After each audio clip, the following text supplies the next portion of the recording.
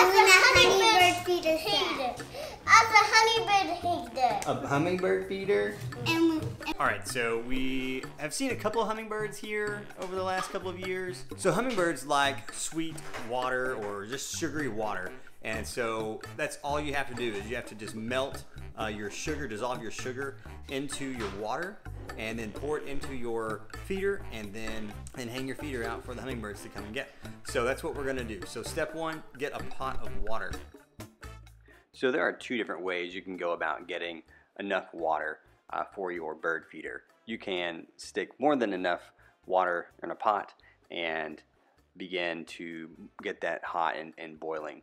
Uh, what we're doing here is we just added water to our bird feeder and then we poured that water into a measuring cup and that told us exactly how much water uh, we needed uh, which then knowing the amount of water we're putting in lets us put in the right amount of sugar which is four parts water and one part sugar so now we are adding the sugar to our measuring cup so that we can get the right amount of sugar.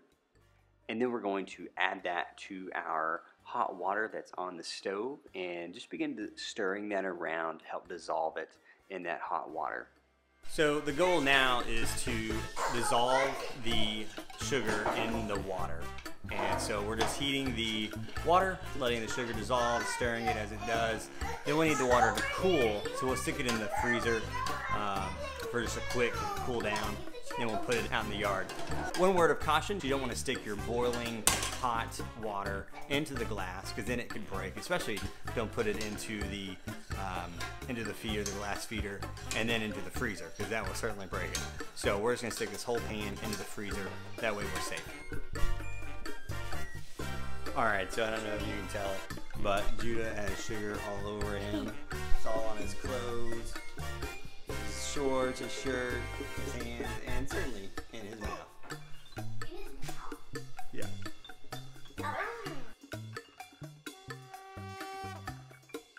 Now we just want to put our water into the feeder. So let an adult do this.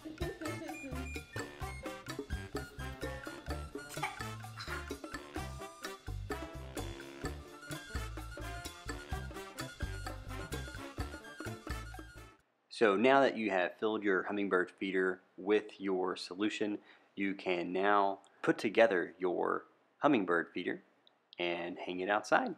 So we are hanging ours on our pecan tree right here. So I've already marked out a spot where I want it. It'll be important for you to do that as well. So once you have your hummingbird feeder filled with your sugary water, all you have to do now is hang it.